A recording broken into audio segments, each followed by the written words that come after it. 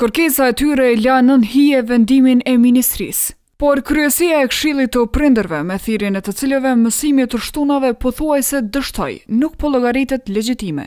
Në zgjedhjen e tyre, sipas Ministrisë së Arsimit, ka parregullsi. Ka qenë një proces i votimit, Dhe nuk ka një akt të themelimit të Këshillit që e kërkon pra udhëzimi administrativ. Kemi gjetë shkelje procedurale dhe përmbajtësore. Andaj edhe është përpiluar një tjetër udhëzim administrativ me disa ndryshime. Menjanojmë ndikimin politik i cili ka qenë evident deri më tani dhe ndikimin e grupeve të interesit në disa komuna, kryesues të këtyre këshillave janë mësimdhënës. Procedurat e përzgjedhjes së përfaqësuesve të prindërve nuk u ndoqën as sipas ish-kryetarit të Këshillit. As të Rregullores të Këshillit të Prindërve të Kosovës, as të Udhëzimit Administrativ të vjetër, po as të dispozitave të Ligjit për Arsimin Parauniversitar, Madje ky po thotë se nga monitorimi që bëri nuk po pyeten për qëndrime këshillat e shkollave.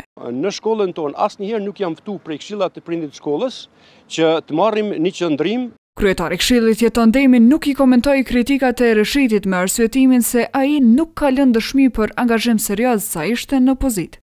Por Demi u mor me udhëzimin e ri administrativ për të cilin tha se u punua njëanshëm e me boshllëqe, teksa konsideron se ftohja e raporteve me ministrinë erdhi si pasojë e qëndrimeve gjatë grevës.